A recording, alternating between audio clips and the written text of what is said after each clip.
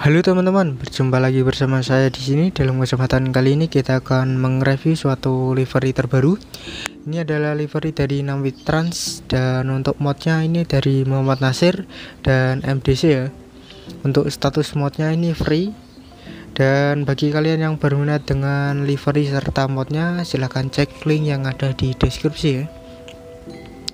Dan sebelum melanjutkan videonya, jangan lupa untuk like, comment, share, dan subscribe. Dan jangan lupa untuk menyalakan lonceng notifikasinya agar tidak ketinggalan video terbaru dari saya.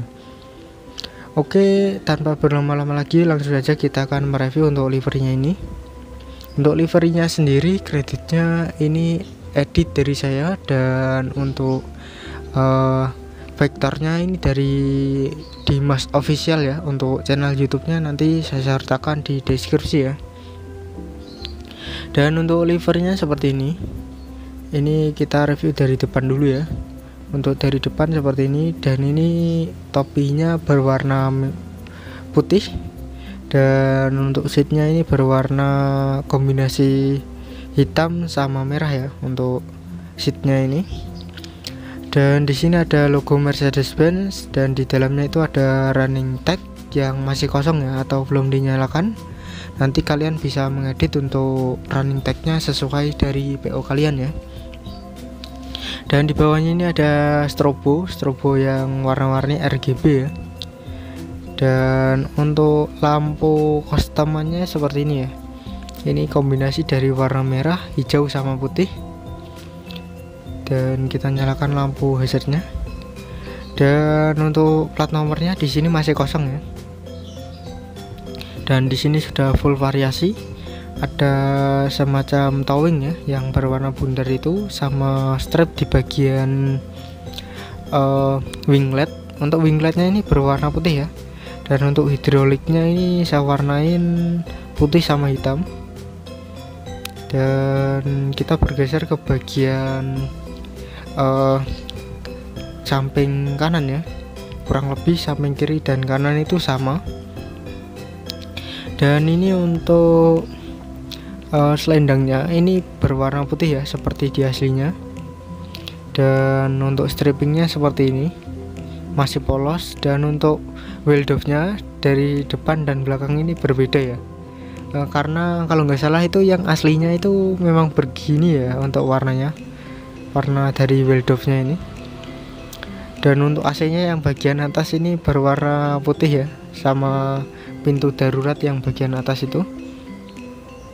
Dan untuk siripnya sirip yang bagian AC itu entah namanya sirip atau apa itu berwarna hitam ya sesuai dengan aslinya. Lalu kita bergeser ke bagian belakang untuk pembuangan spok smoking ya smoking uh, di sini yang berwarna putih ada dua itu. Itu saya warnain berwarna putih ya biar kelihatan cakep gitu.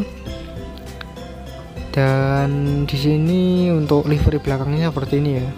Ini sudah full strobo dan strobonya sudah RGB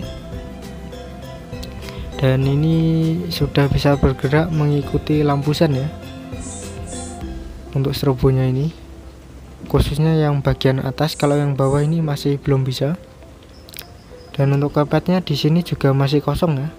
Belum ada penambahan teks untuk yang lain kemungkinan ya masih sama ya untuk uh, liverynya ini.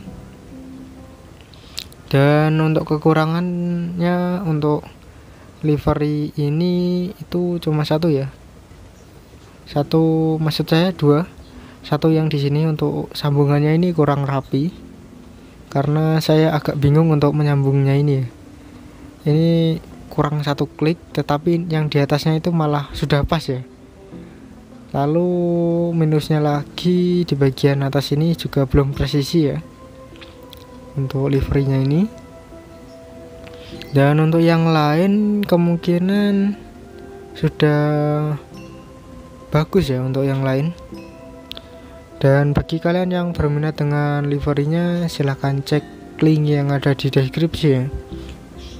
Dan bagi kalian yang suka dengan video ini jangan lupa untuk like, comment, share, and subscribe dan jangan lupa untuk menyalakan lonceng notifikasinya agar tidak ketinggalan video terbaru dari saya.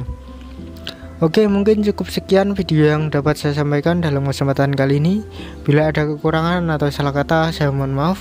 Saya Febri Septian Channel, salam busit mania.